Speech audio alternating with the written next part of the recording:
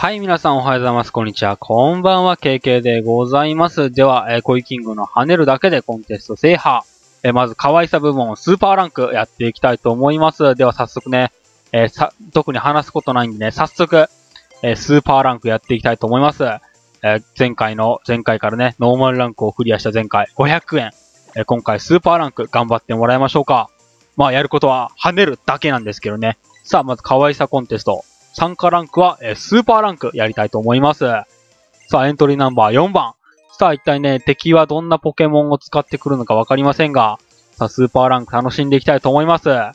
前回のノーマルランクがね、あっさりとね、一発クリアというね、感じになってしまったんで、このスーパーランクどれぐらい苦戦するのか、えー非常に楽しみであります。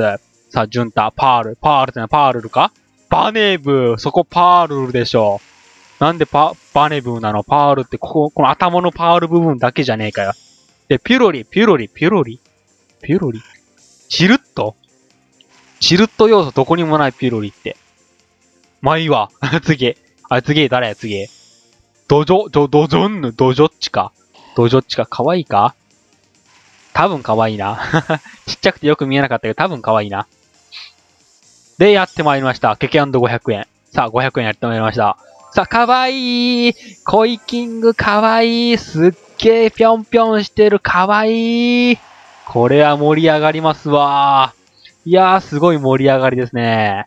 さあ、審査終わって、第一次審査終わり、次アピール審査やっていきましょう。さあ、パート1を取って分かったこと、えー、かなり引き伸ばさないと、動画時間が短いというのが分かりました。まず技見ましょうか。えー、メロメロ眠るあたりか、まあ、ハートがそこまで多くないので、こいつは大丈夫かね。で、チルッと驚かすと歌うか、ちょっとめんどくさい技がありますが大丈夫でしょう。驚かすがちょっとめんどくさいな。自分の前にアピールしたポケモンを驚かして妨害か。厳しいね、ちょっと。で、ドジョッチが、え水鉄砲と、あー、安定したアピールと、必ず盛り上がるか。えーすげえな。まあ大丈夫でしょう。えこちらは跳ねるだけやっていきましょう。さあ、500円の跳ねるアピール。ぴょんぴょんぴょんぴょん跳ねていく。いいアピールだ。さあ、素晴らしい。観客盛り上がっている。可愛さがね。可愛さに観客が盛り上がっていく。で、バネブーが一体どんな技か。ここで驚かすはやめてほしい。驚かすじゃないわ。チルッとか驚かすわ。サイケ光線。サイケ光線はそこまでアピールをできちゃうのか。だけど、可愛さじゃなかったね。失敗してんじゃねえかよ。スーパーランクでなっても失敗すんのかよってね。かなり失敗するね、意外と。意外と失敗多いね、コンテスト。気にならなくなった。お、これは強いね。さあ、ドジョッチ最後何して水鉄砲あたりか？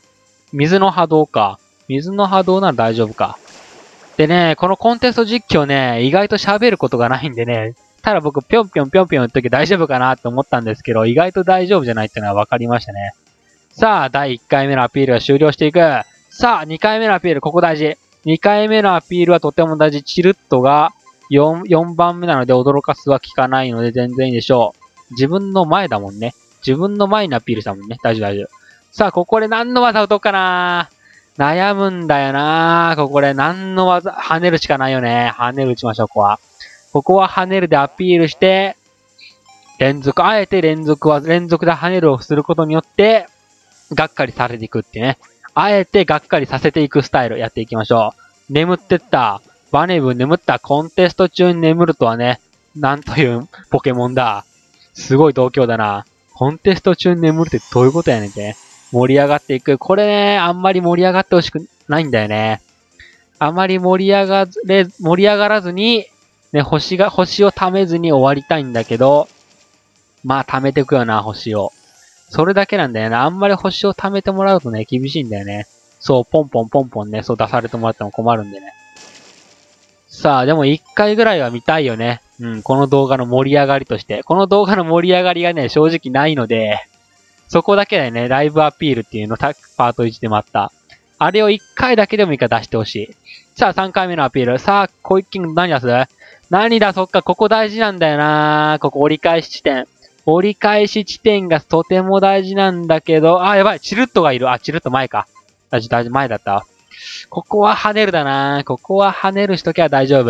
さあ、チルッとは白い霧でアピールか。白い霧でアピールってどういうことなんだろうな。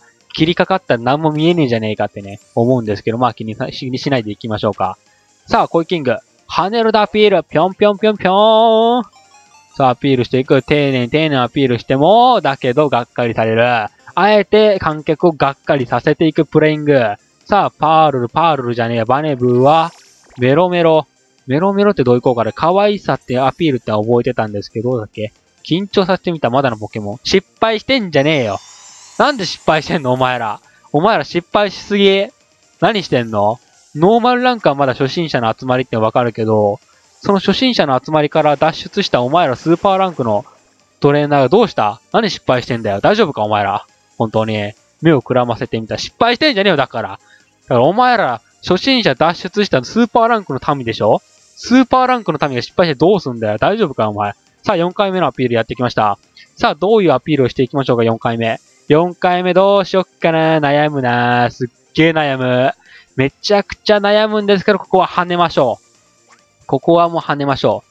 あ、チルットが裏にいる。やばいな、これ。これで驚かされたら厳しいんだよな。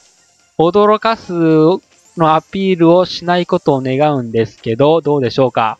まあね、バネブがマジックコート。マジックコートどういう効果だ？さあ、ハートが2つだから大丈夫だけど、あ、そこまで大丈夫だったね。さあ、500円跳ねてこい。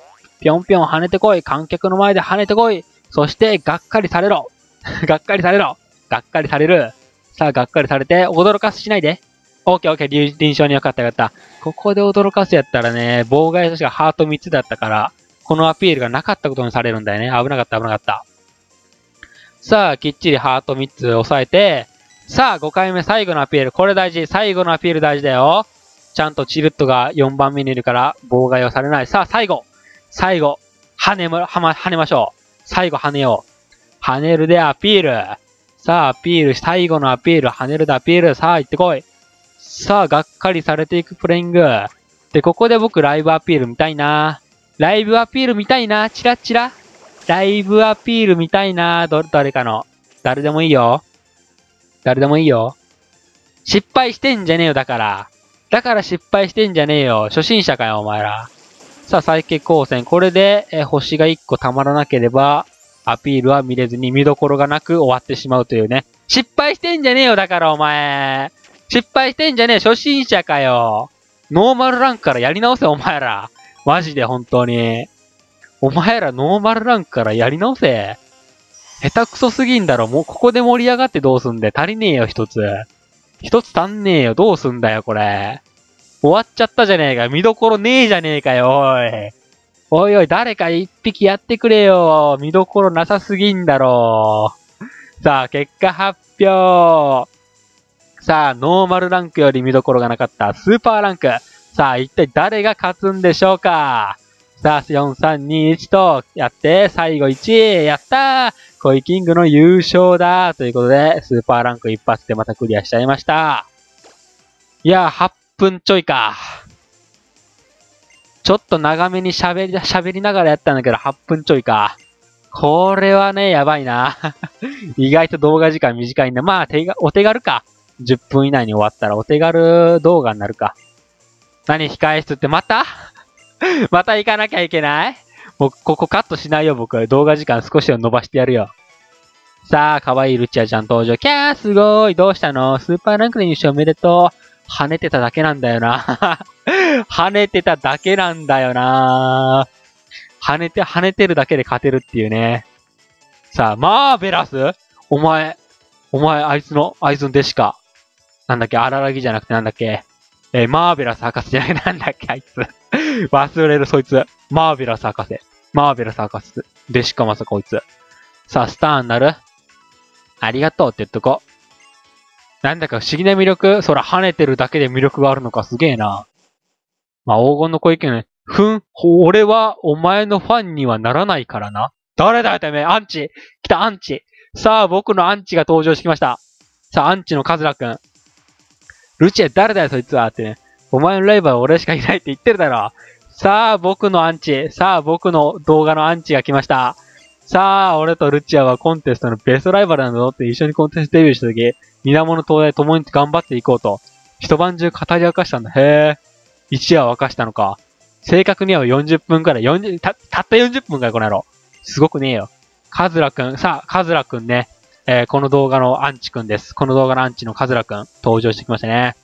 さあ、この先もね、えー、僕のこの動画のアンチのカズラくんが登場してくるのか、えー、み、一つ見ものですね。コンビネーションどうしたの？あ、そうそう、面白いだろ？ルチアといえばカズラ。そうなんだ。ルチアといえばカズラなんだ。へえ、へえ、ルチアといえばチルルだもん。カズラくん。ちょっと、ライバルは俺ですから、え、そうなんだ。へえ、ササクセスストーリーに入ってくるなよな。ふーん。アンチざまー。さあ、カズラくんって全然話聞いてないな。話聞いてないね。うん。それね、盛り上げたいだけなんだよね。ということで、えー、パート2これで終わります。ということで、えー、次回は、えー、可愛さコンテストのハイパーランクに、えー、挑みたいと思います。